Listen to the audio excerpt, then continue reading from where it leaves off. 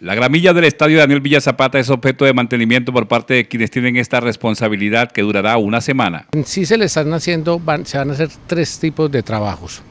El día de hoy estamos haciendo un proceso que se llama Verticut. Eso es sacar material inerte ya de la cancha, raspar con una máquina especializada y desecharle el material que como ustedes lo están viendo, eh, ya es material ya inerte.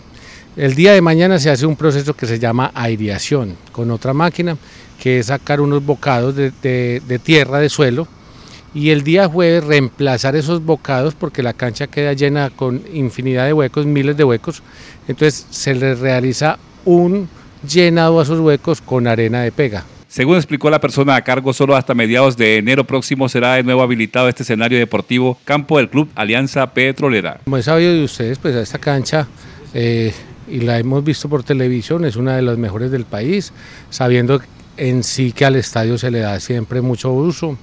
El Alianza en sí no tiene donde mucho entrenar, pero entonces tratamos de mantener una buena cancha para no vernos afectados ninguno de los dos. En sí el trabajo inicialmente va a durar por ahí ocho días, este trabajo que estamos haciendo, pero en sí el trabajo, la cancha se tiene que parar, tenemos permiso o orden más o menos de parar por hasta el 15 de enero.